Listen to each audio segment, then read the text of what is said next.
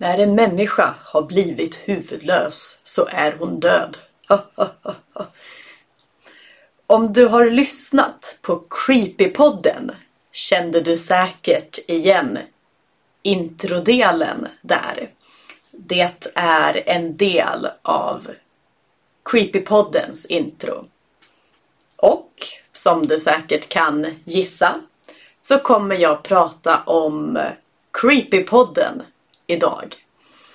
Creepypodden är en av mina favoritpodcasts. Det är en av fem podcasts jag lyssnar på och jag tycker den är jättebra. Och den kan även vara bra för dig. Vilket är varför jag kommer prata om just den här podden. Så, som du kanske kan gissa av namnet så handlar det om creepy stuff, läskiga grejer. Det är helt enkelt en podd där de läser upp spökhistorier, spökberättelser, läskiga händelser folk har varit med om och vandringssägner. Det är Jack Werner och Ludvig Josefsson som gör podden. Och Jack Werner jobbar som journalist och han är väldigt, väldigt intresserad av vandringssägner. En vandringssägen är en historia som berättas vidare i tron om att den är sann, mer eller mindre. Jag vet ingen vanlig eh, engelsk eller amerikansk vandringssägen. Men den typiska, en av de mest typiska är väl råttan i pizzan. Att oh, ett, ett par var och åt på restaurang och då beställde de pizza med oxfilé. Men när pizzan kom in smakade köttet konstigt så de ringde eh, inte polisen men de som inspekterar restauranger och ser till att det är hälsosamt och rent. Och då hittade myndigheterna massa råttor i köket. Det var råttkött på pizzan. En sån story, basically. Um, och det är inte sant, det har inte hänt, men den är ändå trovärdig. Så ibland tar de upp sådana stories i Creepypodden också. Men det är många skräckberättelser i Creepypodden. Min favorit är Psykos från avsnitt 7 eller 9. Och sen har vi Grottutforskaren Ted. Kanske är avsnitt 10. Det är tidigt. De här är de tidiga avsnitten. Och sen allt av författaren... Ehm, vänta, låt, låt mig googla.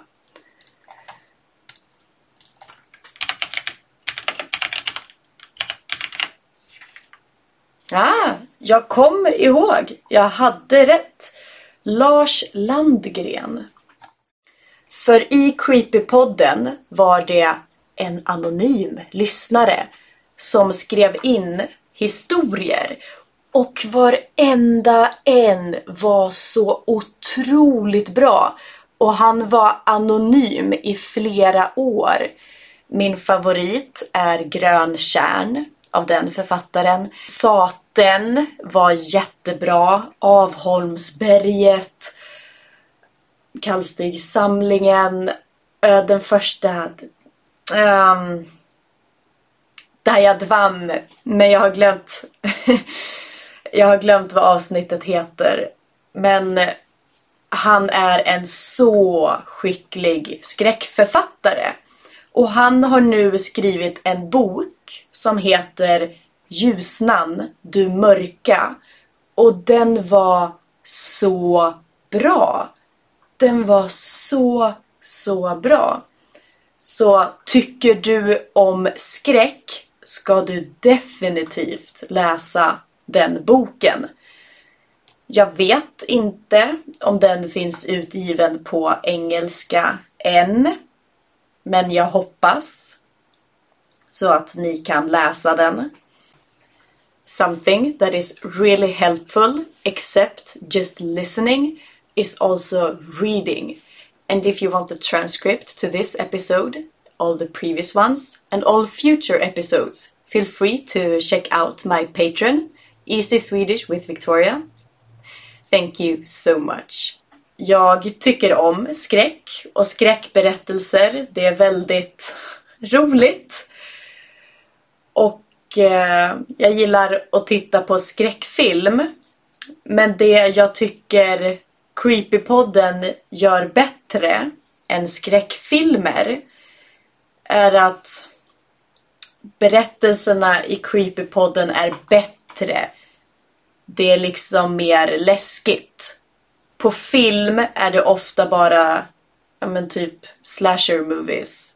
Det är bara blod och döda folk och jump scares. Alltså billiga trick. Och ofta ingen bra story och ingen riktig ingen riktig skräck liksom. Um, så därför gillar jag verkligen Creepypodden. Många tycker att Ludvig Josefsson är den bästa berättarrösten. Alltså de föredrar när Ludvig läser upp avsnitten, läser upp berättelserna. Men jag håller inte med. Jag tycker att Jack är den bästa. Jag tycker Jack är den bästa berättaren. Och jag sa tidigare att den här podden kan vara bra för dig. För saken är den att Creepypodden länkar till originalhistorierna och originalhistorierna är oftast på engelska.